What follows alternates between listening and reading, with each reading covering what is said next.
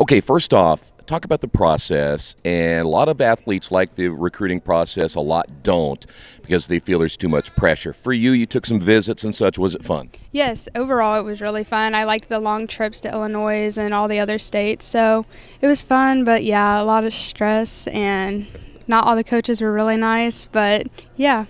Yeah. Well, talk about that because a lot of athletes don't know that when they go in what it's like. So, what was it like for you? It was actually really difficult because I'm not a people person. So, getting asked a bunch of questions and everything, and getting put on the spot with scholarships and all that stuff, and wanting them just wanting me to sign them, then and there, it was really hard to tell them no and everything. And then when I finally made my decision and telling coaches no, they weren't too happy, but it comes down to what's best for me. So yeah. okay, what what was the selling point, the IU Kokomo that made the difference? It was just it felt like home. I'm far enough away from home that I'm not around Richmond people, and I'm close enough that I can drive home on the weekends if I want to and miss my family.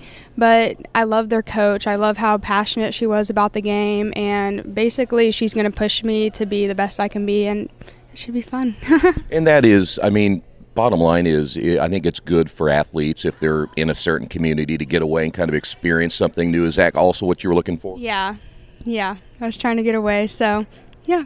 okay. What did they did they talk to you about position wise and, and anything like that, or did you guys keep it pretty much on the basics? Um, I will be playing point guard. I know that, and they're basically it's a whole new recruiting process. They just recruited 11 new players. There's only two coming back, so they're starting fresh basically. So I'm excited to be a part of the process. Did you think go back a couple of years ago and think that basketball, at least collegiately, would be in your future? Was that something you thought about at all? Oh, no, not at all. It was strictly soccer, but I found the passion and love for it again. So, yeah. Well what, well, what was the difference then? What made it better for you? I know you had the injury situation your junior year, but then what made it so you had that passion to return that you want to play the game of basketball? I feel like one of the major things was the basketball team compared to the soccer team was more of a family. So it really made me want to come and work hard for them and for myself. So, yeah.